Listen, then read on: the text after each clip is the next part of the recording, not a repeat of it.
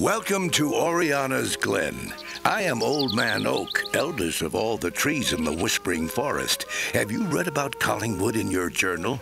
If not, turn off the sound of my voice and read the journal, then return to me. Ah, I see by the light of knowledge shining in your eyes that you have learned what you need to know.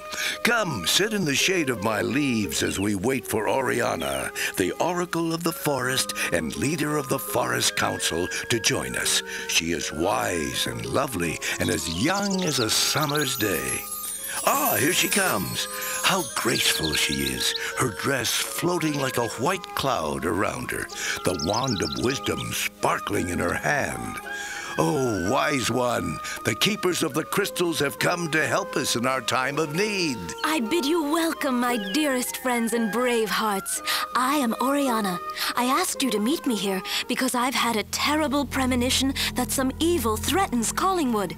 Place your hands upon your crystal pendants and see if you too can feel the danger. What's this? Who's thumping about in my branches? Out with you! Throw acorns at me? Don't you know it's only Pip? Aye, you bit of mischief. I warned you forest sprites about dancing on my head. But, Old Man Oak, Pip is shaking worse than your leaves in a windstorm. Poor little Pip. What were you running from? Well, I was heading for the waterfall to have a swim, but I saw an ugly old hag with three big ogres following along behind her. Ogres? I knew I sensed something evil. I hid and watched, and the old hag turned into Lady Morphia, and she opened a little black jar and poured something into the water. Then, with the wave of her hand, she changed her three ogres into big toadstools.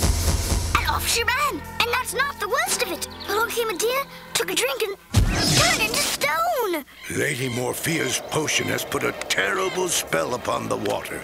Who knows how many other creatures have been turned to stone since you left? Keepers of the crystals, we need your help to save Collingwood from the evil Lady Morphia. Leader, you must consult with the others and devise a plan that will make it safe to approach the waterfall. And watch out for those toadstools. One of you should think how to use the powers of your crystal pendants to defend yourselves. Then the protector should sprinkle some of the magic crystal powder into the waterfall to make the water pure again. Use only a little. The powder is very strong. And don't drink it yourself, or the magic will be lost. Once you have made the water safe, you, healer, can use your crystal of healing to heal the deer or any other creature that may need your help. And remember to bring the Wheel of Choices with you. Leader, choose a fantasy card before you leave and give it to the Protector to carry. Protector, don't forget to bring the jewel crystals and the magic mirror with you too. Keepers, when you have finished your mission and the waterfall is safe again, the Protector should use the mirror to read the fantasy card, and all of you should carry out the task that the card gives you. Scribe, you should record in the journal everything the group sees and does. When you have fulfilled your tasks, return to us here in Oriana's Glen. Turn off the tape now.